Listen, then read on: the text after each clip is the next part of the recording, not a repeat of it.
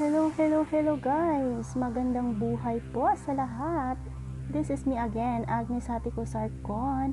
Magbibigay na naman sa inyo ng isang video na magbibigay ng konting kaalaman tungkol sa isang bubuyog. Iyan, sinisiksik po yung kaibuturan ng isang bulaklak ng melon guys.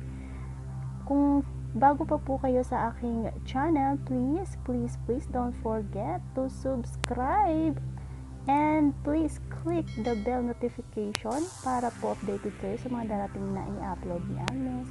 At bago pa man ang lahat, mag intro po muna tayo guys.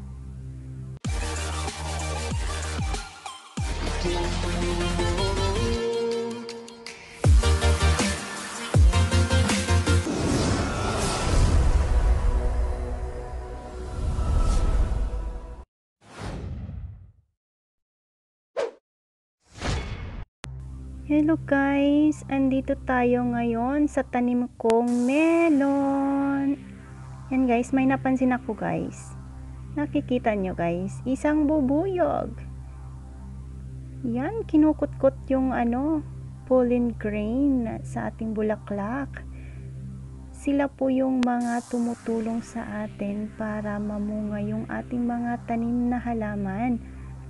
Sila po yung mga insektong nag-cross-pollinate po sa ating mga halaman para magbibigay ng magandang bunga. Magbibigay po tayo ng mga basic lang po na mga kaalaman tungkol po dito guys. Cross-pollination is the transfer of pollen from one plant to the stigma of another plant. Once the plant has been pollinated, the male contribution fuses with the egg in the ovary, the process known as fertilization. After fertilization, the fruit and seeds develop and mature. Oh, o, diba guys? Ganun lang kasimple. Another definition of cross-pollination is also called heterogamy, a type of pollination in which sperm-laden pollen grains are transferred from the cones or flowers of one plant egg-bearing cones or flowers of another.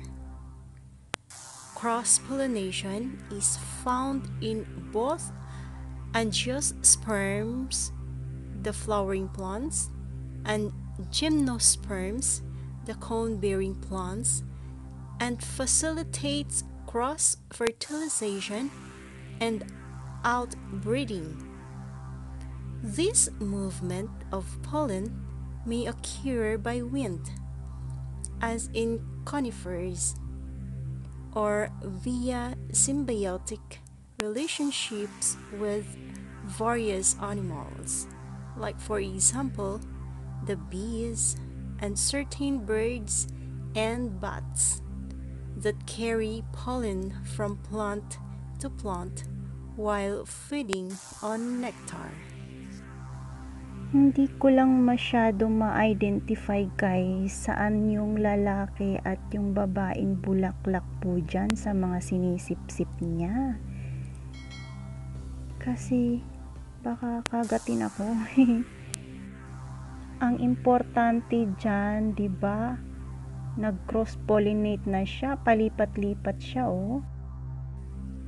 Dagdag din po kaalaman tungkol sa mga halaman kung saan dinadayo ng mga bubuyog or mga honeybees.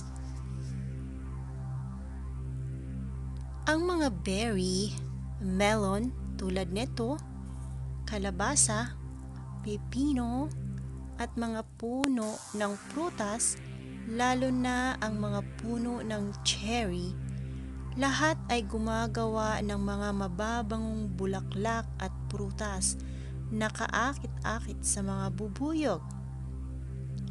Ang mga bees ay kapaki-pakinabang sa mga halaman na ito. Kaya ang pagbibigay sa kanila sa iyong hardin ay magiging isang paggamot para sa iyo pareho. Kinatatakutan natin pero marami palang tulong sa atin.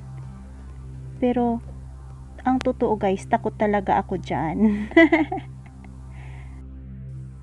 Ayan guys, pagmasdan niyong mabuti. Pinagsisikapan niya talagang kunin yung gusto niya dyan sa loob ng bulaklak. Nakakatuwang panoorin, ba guys? Masipag, masipag kahit insikto, nagsipag para may makain, makaproduce ng honey sa atin. Kaya, kung meron kang puwang para sa isang maliit na hardin ng halamang singaw, iyon ay isa pang mahusay na paraan upang maakit ang mga bubuyog. Ang mga mints ay nakakaakit ng ilang mga uri ng mga bubuyog tulad ng pag-iingat ng tao, rosemary, thyme, bee balm, at maraming iba pang mga halamang gamot. Diba? Nakakatuwa guys. And additional knowledge guys para sa mga bees This is it. All bees have very high energy needs that must be met for their survival. Bees need key sources such as pollen and nectar from a variety of flowers. Bees need these resources for themselves and their progeny. Many bees also need water in addition to nectar. And that's all for today guys. Thank you so much at sana nag-enjoy po kayo sa panunood ng bubuyog dyan na nag-iisang paikot-ikot sa mga bulaklak. Sana may nakukuha po kayong aral kahit pa konti-konti lang Thank you so much, guys. Thank you so much, and God bless us all. Bye.